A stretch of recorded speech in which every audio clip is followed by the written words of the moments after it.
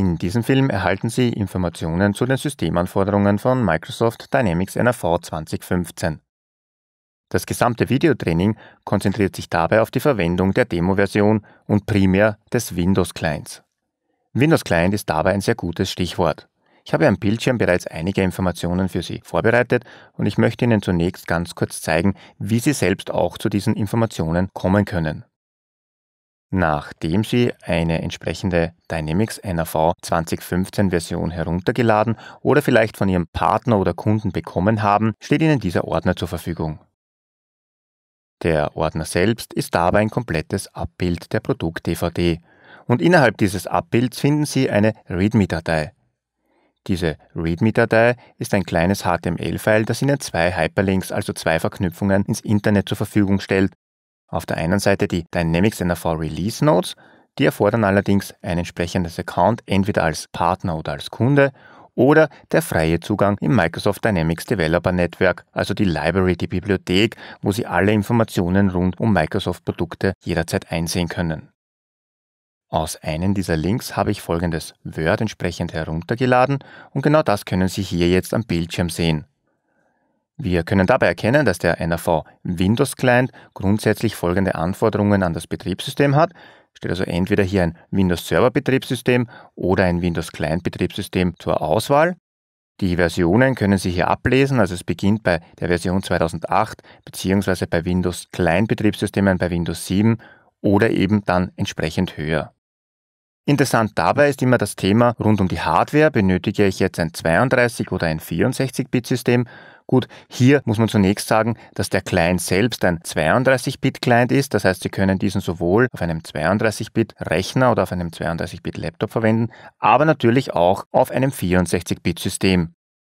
Wenn man jetzt jedoch die gesamte Demo-Version betrachtet, dann müssen wir auch über den Microsoft Dynamics NAV Server sprechen, denn der hat ein paar andere Anforderungen und da blätte ich jetzt bei dieser Gelegenheit einfach mal ein paar Seiten weiter und kann hier jetzt bereits in der ersten Zeile folgenden Hinweis sehen, nämlich der Microsoft Dynamics NAV Server, der kann nur auf einem 64-Bit-System verwendet werden. Das bedeutet, wenn ich die Demo-Version installiere, so wie sie vorgesehen ist, bei der alle Komponenten auf ein und derselben Maschine sind, dann benötige ich eine 64-Bit-Maschine, denn der Server hat als Mindestanforderung 64 Bit. Der Client zwar nicht, das spielt allerdings in diesem Zusammenhang ja keine Rolle, denn Server und Client sind auf einer Maschine, also muss ich mich nach den höheren Anforderungen richten.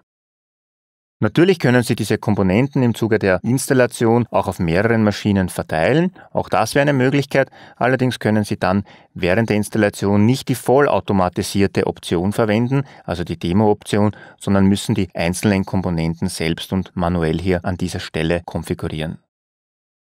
Diese Angaben hier haben natürlich keinen Anspruch auf Vollständigkeit. Auf der einen Seite ist es natürlich so, dass sich Betriebssysteme weiterentwickeln, auf der anderen Seite natürlich auch Microsoft Dynamics NRV. Möglicherweise gibt es zwischenzeitlich sogenannte Cumulative Updates, wodurch sich diese Anforderungen geändert haben können. Das spielt aber für Sie keine große Rolle, denn Sie können ja mit den beiden Links, die Sie auf der Produkt-DVD finden, jederzeit nachsehen, was jetzt im Moment die aktuellen Anforderungen an Ihr Betriebssystem und an ihre Hardware sind, um Microsoft Dynamics NRV an dieser Stelle hier zu installieren.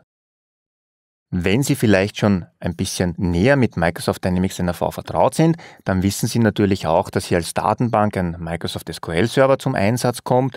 Warum habe ich den jetzt an dieser Stelle noch nicht speziell erwähnt? Der Grund dafür ist, dass die Demo-Installation und somit der Inhalt auf der Produkt-DVD eine entsprechende Express Edition des Microsoft SQL Servers beinhaltet. Das heißt, im Zuge der Installation wird diese SQL Server Version auch automatisch installiert, aber das vollständige Dokument hier über die Systemanforderungen, das beinhaltet natürlich auch nochmals einen extra Bereich, was die Systemanforderungen des Microsoft SQL Servers betrifft. Man kann allerdings im Normalfall festhalten, dass wenn Sie die Microsoft Dynamics NRV Server Anforderungen erfüllen, Sie auch automatisch die Microsoft SQL Server Anforderungen für die Demo-Version natürlich an dieser Stelle nochmals explizit erwähnt erfüllen.